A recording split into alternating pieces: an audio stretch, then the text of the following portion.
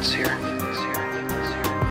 Hey guys, so today I followed a Bob Ross tutorial on painting, um, well, this.